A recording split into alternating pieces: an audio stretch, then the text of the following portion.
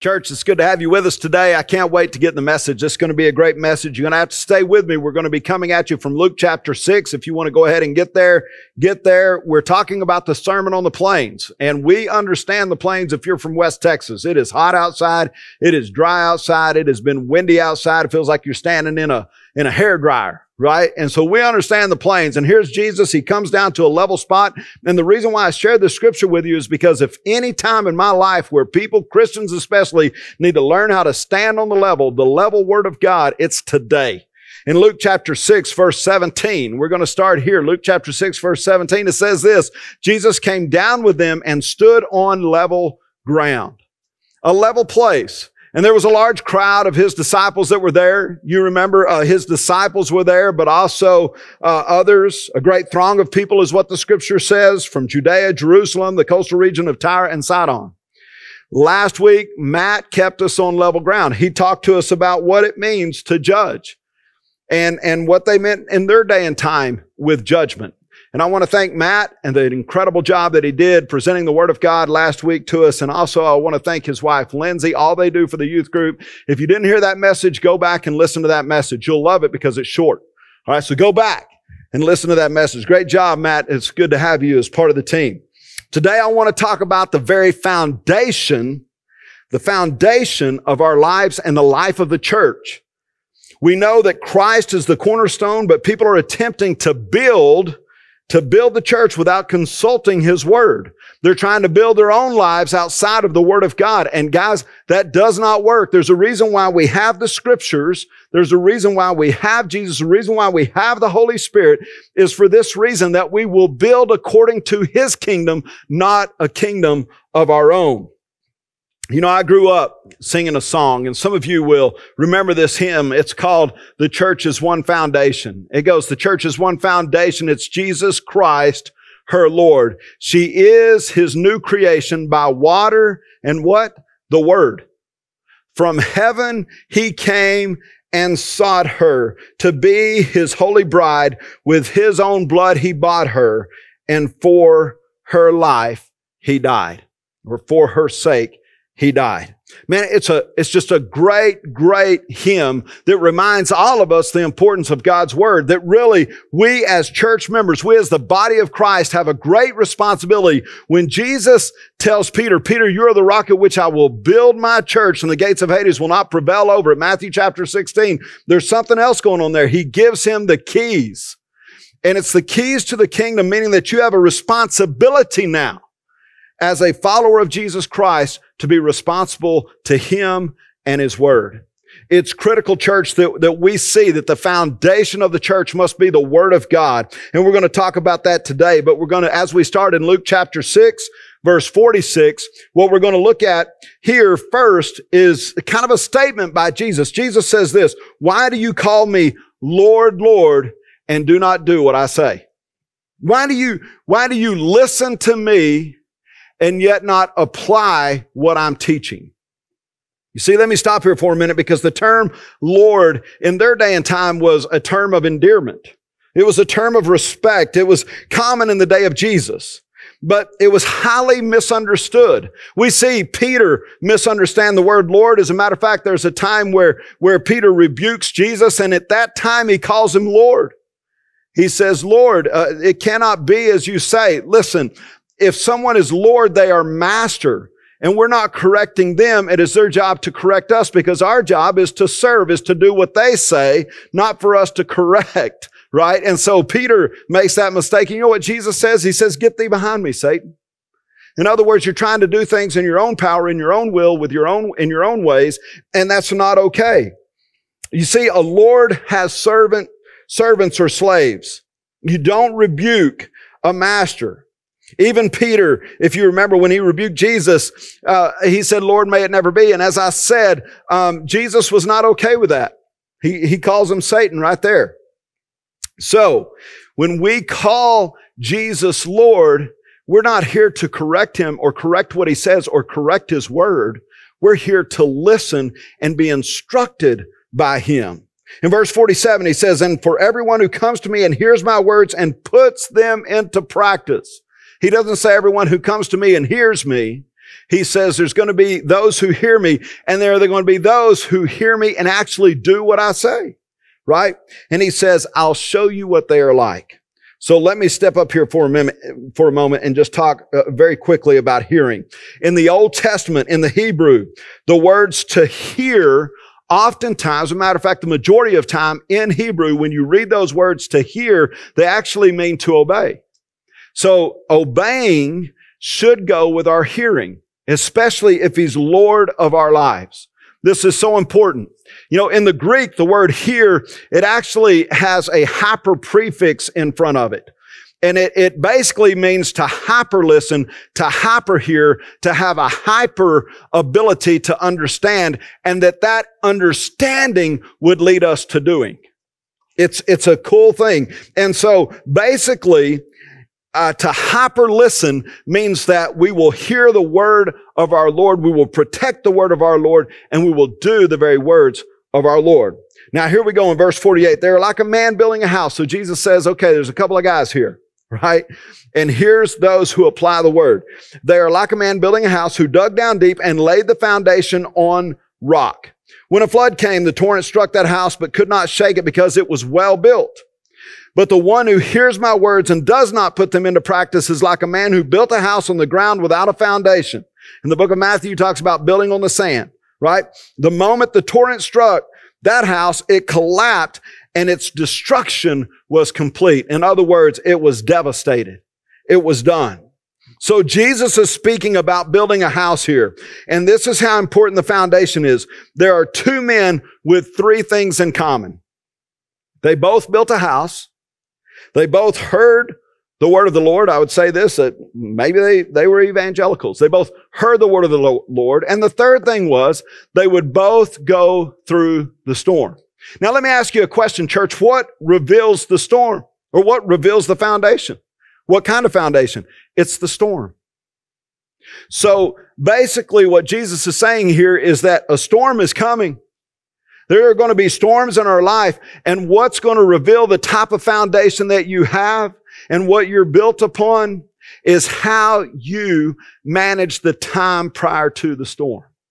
Did you listen to the word of God? Did you do what the word of God says to do? Were you a part of being those who apply the word of God to your life and to the life of the church?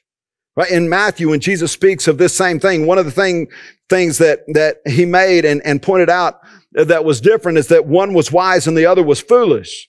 This tells us that not only a wise man can hear Jesus, but also the foolish can. And these two men wanted the same thing, but they, they, they went about it very differently in their lives. Just know a fool is one who knows what to do, but he does not do it. Let me say that again. A fool is one who knows what to do, but doesn't do it. It's, it's the difference here. See, wisdom, let me tell you about wisdom for just a moment, church. Wisdom is the ability to apply what you know. There's a difference between wisdom and knowledge, and I share this with the men at Bravehearts all the time. There are those out there that know so much more than me, but they do, do they know the one, right? Do they know Jesus? And do they apply what they know according to his principles, according to his ways? Do they just call him Lord or do they show that he truly is Lord of their lives? Because the difference between knowledge and wisdom is simply that, church. Knowledge is the ability to know. Wisdom is the ability to apply what you know. And the willingness to do it as well. It's what defines a wise man. It's the difference between a wise man and a fool in scripture. You see, wisdom goes far beyond our education. Wisdom is the ability to not only hear, but of course the ability to apply what we hear. And sometimes it's not quick. Sometimes it must be developed or it's developing, but I want you to hear something. Uh, it's not quick to build upon the rock. It's, it's not quick. It's why Jesus didn't say, go get them all saved. What does he say? He says, go and make disciples. It's going to take some time. They're going to have to hear. You're going to have to show in your own life and instruct in your own life how to apply what you learn, how to apply the principles of God. We all want the quick fix today. We all want someone to snap it and build it. Right? Uh, it's not going to be long before they have snap built houses. I, I truly believe this. They just snap them together. You know, as a matter of fact, I remember when I used to build models as a kid. I loved getting models for Christmas. I loved getting models for my birthday. They would get me the 1978, 1979 Trans Ams, right? You remember the 1979 Trans Am? This isn't really part of my message, but there's something that's really special about that car, especially the black ones. You remember Smokey and the Bandit? Yeah. Uh huh. And so I remember when I no longer had to glue them, they came out with the snap tights. And then I could just snap them together and it was quick and it was easy, but they weren't near as strong. They didn't take near as much time to build, right? As we build disciples, as we make disciples, church, uh, it takes some time. And, and, and as you're building and as you're being built, as your foundation is being laid, don't get frustrated. I mean, the blessing goes to those who persevered. The perseverance of the saints is so important for all of us. And so we're building something. God is building something in us through His Word, and it takes time and it takes discipline. It, we, we've got to open and be instructed and learn, and sometimes it doesn't settle well with us. But you've got to hang in there and keep going. See, that's what makes us wise according to God and God's kingdom. You know, hammering into a rock for a foundation is going to take a while. To build on the sand, just go clear it and build it. But to hammer into a rock, you've got to carve out those edges. You've got to get everything just right. It's critical because everything's going to come up that way. Have you ever built something only to find out after you had the walls in and had it up, it's not square?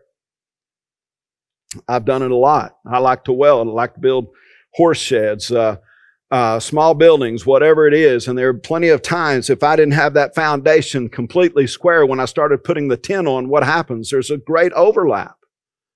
Your foundation is critical and it takes time to get it right. It's not hard. It's not difficult. It just sometimes takes more time. It's going to be expensive. It's, it's going to be labor intensive to carve out in that rock. It's going to cost you a little something. You know, Jesus makes it clear that whoever comes after him, him must deny himself, take up his cross daily and follow him. And there's a reason for that, church. It, it, it, it takes some time. It's going to be expensive. It somewhat takes work. You know, in this situation, one was wise, the other was foolish because of what? It's because of where they started, where they began. So many people want to get there quickly. So we read the, the self-help books. We, we read this author who can summarize it so much better than we feel like we ever could instead of just going straight to the Word and learning to study the Word of God. Now, you might want to start with the book of John. Uh, I would start in the New Testament and I would begin to look at Jesus' teaching. Matthew 5 through 7 is a great place. It's going to reinforce what we're talking about today in Luke chapter 6. Right? I, I tell people sometimes start with Luke and go to Acts. Those two are, are written by the same, right? They just come in together just like this. And you hear the story of Jesus and his disciples. But here's the thing. Don't be in a rush to get it all so quickly. We're in a rush to know. We've got to know. We've got to have the answer. We've, we, we, we're looking, and, and what Jesus is saying, no, take time and do it right. Let my word become enriched in each and every one of us. Let God's word See, one must bust the rock, break it down to the point of level, which means to chisel down to the very margins of the foundation, every corner, every square inch. It's similar in our lives, but the sand is so much quicker. But it's not the right way. It will not endure in the storm. And remember, church, remember this.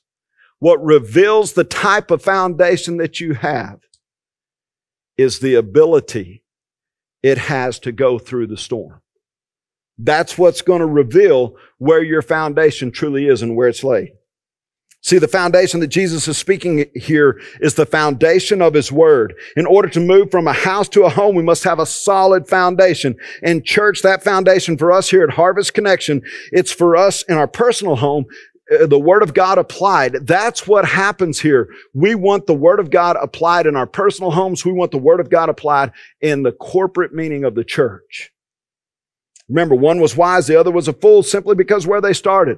And let's be honest, when people want their situations addressed today, we oftentimes don't start with the Word of God. We don't preach or teach that the Word of God is supposed to be the foundation for our lives, for our families, for our churches, and for our nation. One nation under God. Right? We live in a day when the Word of God is no longer the foundation. When people want to address their situations, they don't want to start with the Word of God. They start with psychologists, their own knowledge, their own books. We reach out everywhere else instead of reaching out to the one who made us, who created us, who has a plan and a purpose for our lives. You see, with these two men, biblical information was not the issue. Let me say that again. With these two men, biblical information wasn't the issue. They both had it. They both had the information. They both had the education. Jesus has just spoken the best sermon ever, really. He's laying some things out here, right? They both heard. The difference was the one who chose to apply what he heard. And the church should be the same way. Right? Many churches start with man, with the theologians, with the psychiatrists, the psychologists, the doctors, the lawyers, and many are attempting to build or rebuild on a different foundation. Many are trying to change the foundation that this very country has started. Because you know what? If you want to change the future, you need to erase the history. A lot of times that's, that's, that's how you change the future. Let's just erase it so the next generation doesn't even know it. And by the way, you will never find that scripturally among nations. As a matter of fact, with the Israelites, the Lord was, was very specific about writing the Word of God on the minds of the children and on the hearts of the children. We are told first in Deuteronomy to love the Lord your God with all your heart, soul, mind, and strength. Jesus says that's the greatest commandment. We're to pass that on from generation to generation. And nations are lost when we no longer, look, whether the history is good or bad, when we know it, when we know it, we can build upon it to make it better. And this nation needs to come back to Jesus and His Word. In church, we should have never let it leave. That's another great caution here. We should have never let the world define what truth is. This is why Jesus said, I am the way, the truth, and the life. This is why he tells us to build a firm foundation so that when the storms come, when different ideologies come and go and they, and they go, we are the ones that are standing on level ground because we have the truth. And we are to give that truth to others so that they have hope for their circumstances, for their life as well. See, with these two men, they both had the information, but only one chose to apply it. You know, we're challenged in so many ways today. Uh, gender identification. And yet we don't have to be challenged in this. But I know pastors that are challenged with, well, you know, I don't know if there's really just two genders. Yeah, the scripture says there's two. It simplifies things. You know, sexual orientation. Well, the scripture is very clear be fruitful and multiply. That's male and female. He made them. And that's all he made. Uh, racism, a different color, but really only one race, the human race. You know, in our politics today, my goodness, if Christians think it's interesting to me because we're to be called one nation under God with liberty and justice for all. You know, I, stated this uh, about a year and a half ago. I preached the message out of Matthew chapter seven, where Jesus is talking about this same thing and and how the foundation has to be laid upon the rock, the very Word of God. And, and I went back and went through those notes, and, and they're very similar to what we have today because we're basically talking about the same thing. But uh, that April in Washington, the Washington Post stated over 90 American Muslims, year before last, nearly all of them Democrats, were running for public office that year. Joe Biden, I just saw a video of him attempting to get the Muslim vote. And he states, we all have the same roots. Basically, he's saying we all have the same foundation. It's not true. That's not true. Look, I don't hate Muslims, and some of you will interpret this message this way just because that's what I just said. I just said we don't have the same foundation. We don't. We have a different foundation. Non believers have no foundation. Buddhism, Hinduism, Taoism, Nazism, they all have different foundations. Even those evangelical indolents. Honestly, you have a different foundation. You're trying to lay down a foundation outside of the Word of God or make the Word of God what you want it to be instead of changing our lives to what it mean, what it means to follow Christ, His ways and His Word. And there's a danger, no doubt, a critical danger. We wind up tickling the ears of man instead of understanding that we are to be here for Christ and Christ alone, for His kingdom to come. That means that He is Lord and we are not. See, Joshua, Joshua stood before his people and he said, I'm going to tell you something. Choose ye this day whom you will serve. As for me and my house, we'll serve the Lord. Joshua 1 9. We've got to make that choice.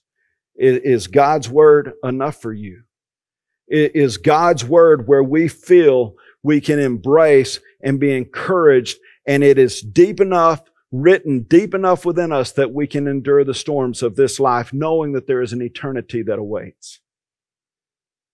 That's, that's who we're supposed to be. You know, I want to tell you something, church. The first point this morning, as far as applying this message, is this one build while you can. We enjoy our freedoms right now. We enjoy what we have right now. We enjoy the ability to do what we do when we want to do it. We enjoy the opportunity to go to work from eight to five or whatever your job is. We enjoy the freedoms that America has, but when they are gone, you should have built when you could. There's a great warning out there. We've got to build while we can. There's a great fight over this nation. There is no doubt. There's, there's a great fight over the church and, and where the church and what the church is supposed to be in today's culture. And I'm telling you, we are to be the kingdom of God, and we cannot change the word of God. We cannot change our Lord. He is our master, and he reigns in his kingdom, and we are to honor him, and we do that as we study and read and apply his word to our lives. You see, I see a lot of proclaimed Christians who, who have been rocked by the storms of life. And matter of fact, I've seen some walk away from the faith because during the time they could have built, they didn't. During the time when they could have been reading and studying and growing closer to the Lord, they chose not to. And when the storms of life rocked them, guess what? They were no longer there. They were just, their house was gone. And this is why Jesus calls us to build upon the rock. And we need church to build while we can. You know, a time of peace is a time of blessing. If you know anything about church history, you know about the Pax Romana. And the Pax Romana, the peace of Rome, came at a time where the Christians really had an opportunity and an appetite to enjoy and appreciate the Word of God and to learn and to study and to grow nearer to their Lord. And the gospel was propagated throughout all the land. It's important that we don't take advantage of the time that we can build. Build while you can. The other thing I would say, and I said this in the Matthew chapter 7 message, and I thought this was so critical to us understanding the importance of the Word of God. My second point is don't mix rock and sand. Don't mix rock and sand. Now, I know we mix it in our concrete sometimes and that type of thing, but there is no doubt that when you're mixing rock as a foundation, when you've got rock laid out for the foundation, you don't want a bunch of sand in there where the rocks will move. And this is what happens with us oftentimes with the Word of God is we try to mix it. We try to make it a little more sweet. A couple of years ago when my daughter was in Mary Poppins, they sung a song in there and, and you'll remember it. You'll remember just a spoonful of sugar does what? You probably remember it from my message because I know all of y'all were tuned into my message a couple years ago when I preached. A spoonful of sugar helps the medicine go down or makes the medicine go. Down. I don't remember exactly how it went, but okay, it went something like that. Now, here's the thing. We oftentimes do that with the Word of God. It doesn't always fit in our concepts and our theological paradigms, or even outside of that, just in our worldly thoughts. It's, it's messing with our spirit man inside of us, and it doesn't necessarily fit. You know, I like fondue. I like to go and take, if there's a fondue machine, it's, that's a deal that melts chocolate, right? And you take a, a strawberry and stick it in there and it tastes so much better. That hot chocolate goes over. But here's the truth. Strawberries are good for you until you put a bunch of sugar on them. Sugar is an inflammatory. It's what's wrong with most of us. Is we have too much sugar in our lives. Everything's so sweet anymore. And now we try to sweeten the gospel of Jesus Christ. We try to sweeten up His Word to make it go down a little better. Look, just preach it. Just teach it.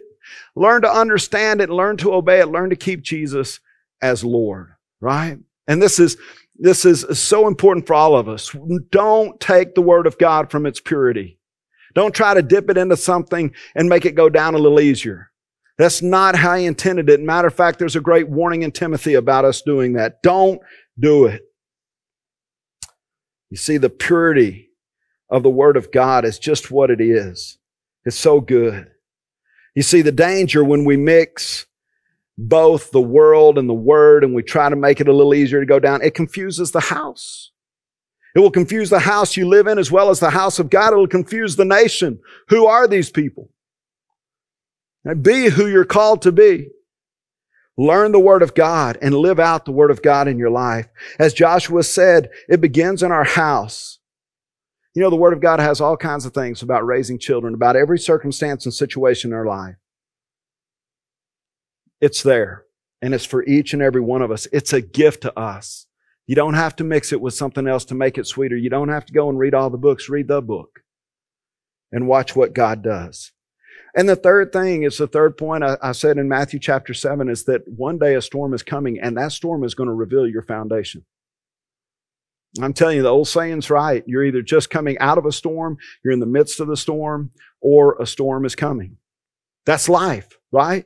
And here's the, they, they, they say this. They say you can tell how high a skyscraper is going to be by looking at the depth of its foundation. And they start where? They start with a foundation on that. And this is important. Our foundation must be deep. It must continue to get deeper. It doesn't just get a certain, get to a certain place and stay. God is calling us to go deeper with Him so that we can bring His kingdom to this earth. That's our whole responsibility. In this world, Jesus said, in this world, you will have trouble. He didn't say you might have trouble. He said you will have trouble. He said, blessed are you that are persecuted because of me. Gonna, there's going to be persecution because of him. But we don't have to water down his word for that. We don't have to live any different. We bring his kingdom here to this earth. A storm is coming, church, and it's going to reveal the depth of our foundation. And, and it's important for us during a time of peace to be deepening our foundation, to be carving out, to be building upon the pure word of God. You see, when you understand the power of God's word, you don't have to switch books. Every time you make a decision to follow the word of God, it's, you know, sometimes uh, the, the scripture tells me husbands love your wives as Christ loved the church. Well, yeah, but you don't know what she told me today. I, I need to make that a little sweeter. That's kind of hard to do. Well, the one that needs to adjust is not the Lord. It's me. Husbands, love your wives. Uh, wives, Respect your husbands. Well, I don't like that. Yeah, one time I once had a lady tell me this. This is this is no lie. We're in our office doing some marriage counseling and everything. She said, "You know what?" Um, she said that scripture that says, uh, "Respect your husbands as unto the Lord." She said, "If he acted like the Lord, I could respect him." well, how's he going to act like the Lord? Or what if you just gave him the respect and maybe that would win his heart? There's something in scripture about that to written to Timothy, right? Maybe it might just win his heart over to the Lord where he started living his life according to the Word of God and loving you as Christ loved the church. See, we make all these excuses of why we don't instead of why we do. God is looking for those who will apply His Word because that lays the foundation. Look, not just for this life, but also the life to come. And I'm going to tell you something, church. If I had a fourth point, and I don't, I'm out of notes. But if I had a fourth point, this is what I would tell you. I would say discipline yourself to hear and do the voice of God, to read His Word. You know, Paul reminds us discipline ourselves for the purpose of godliness, for bodily discipline is of little profit, but godliness is profitable in all things because it holds the promise for the present life and also the life to come. He's saying, look, it's going to make a difference in this life and it's going to make a difference in the life to come because you're going to have an ear that's attuned to your Lord for eternity. And eternity starts today, church. What does your foundation look like? You know, I'm told to love my enemies. And that's tough for me. But I also know that there must be a way because Jesus said it. It's not in my strength, it's got to be in His strength. He tells me to give, He tells me to love. Do not judge. And see, when we learn to apply those things to our life, we deepen the foundation and we ready ourselves for the storm. We, we in some ways, uh, batten down the hatches, right? So some of us are simply tired today. Look, you've been chiseling rocks. You've been trying to lay this foundation, but you're tired. You are exhausted. It looks like uh, you're losing in life, but you're not. Every time you chisel that rock to lay the foundation, other people see it. And you encourage their faith. And this is why we are not to neglect the gathering of God's people because it's a place of encouragement. It's a place where we can be lifted. It's a place where we can step in and spur brothers and sisters in Christ on. It's, it's a way of broadening our foundation. So, so don't give up. I want to encourage you. If you're one that's been chiseling in the Word of God and you can't see it in your life, others do. Because the Word of God does not return void, is what the Scripture says. It makes a difference every time you open it, you study it, and you apply it. And this is why, look, and this is what we're called to be as the church. To encourage, to embrace, to say, hey, don't go it alone. You know, the disciples, Jesus, he didn't call one disciple, 12, right? They had one another. But Jesus was also there with them, and he reminds us, church, where two or three are gathered, there I am in the midst of them. You know, some of you have mixed rock and sand. There's no doubt. Some of you are saying, oh man, Curtis is way too conservative for me. Well, fine. I may be. But what you're saying is God is. He has a way He wants us to live this life, and He doesn't want us to mix rocks and, and sand. You know, here's the thing. Um, you're probably really more tired of watered down results. What if you went all in this morning and said, I'm going to get up in the mornings and I'm going to read His Word and I'm going to pray and I'm going to expect to hear God speak to me and I'm going to make a difference in the culture that I'm serving. I'm going to bring His kingdom to earth today. Today marks a new day. I'm no longer going to be satisfied with watered down results. God called me for such a time as this and I'm going to make a difference because I'm going to hear His word and I'm going to do His word in the life that He's given me. What if that's you today? I hope it is. And for, for all of us out there today, listen to me. You don't need to take a spoonful of sugar this morning. You need to take a spoonful of His Word. You know what His Word says. Taste and see that the Lord is good. Church, He is good. He's given us a gift in His holy word. He's given us a gift in His rhema, in His spoken word, right? In the scriptura. Look, we have the opportunity to hear Him. And I would tell you, take that opportunity now and deepen your foundation. Church, it's been good to have you with us this morning. Know this, we are praying for you, and we hope to see you soon.